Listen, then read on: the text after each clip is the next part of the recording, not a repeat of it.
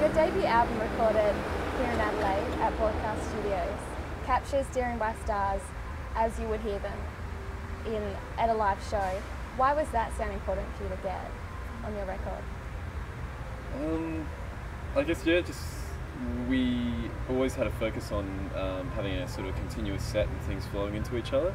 I think um, the best way that we could convey that and record that was just by doing a live performance when we were in the studio, and to get that that intensity and um, I guess that sort of journey that we were really trying to portray when we were actually playing. Um, recording it, that live aspect of it really allowed for the, the energy and the momentum of that and the, the continuous nature of the, the, um, the music to come through. So, And we didn't have a lot of money. Yeah. yeah, we were Financially, very, it made a lot of sense. very poor at the time. So um, We're still very poor. we're We're very- still- yeah, yeah. but uh, I think yeah, because we did it in two and a half days, and then we did a bit of post production. So we um, had to really rush through it, and you know, first or second takes of everything like that to, to do that. And so playing it live like that was the, the quickest way to get it down as well, yeah, and the cheapest. Are you going to do a similar sort of thing for your second album? Um, I think we're going to still try and keep the that sort of rawer momentum and the live aspect of the performance, but um, we hope to spend a lot more time polishing it off. Um, and, and particularly, uh, the first album, I guess everybody looks at back at their earlier things that they do, and they, they have that sense of naivety with it.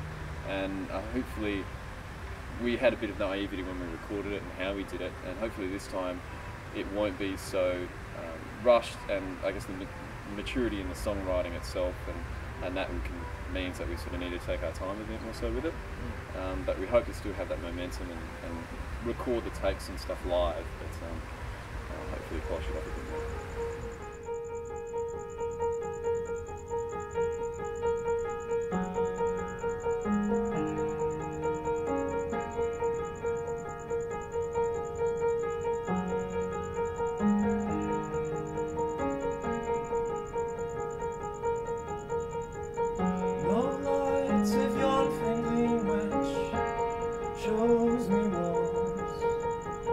Confined like a bird that thinks things But little do they know.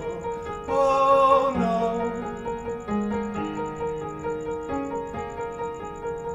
Oh, oh no.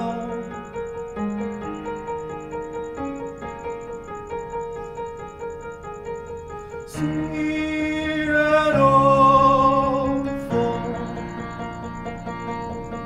my precious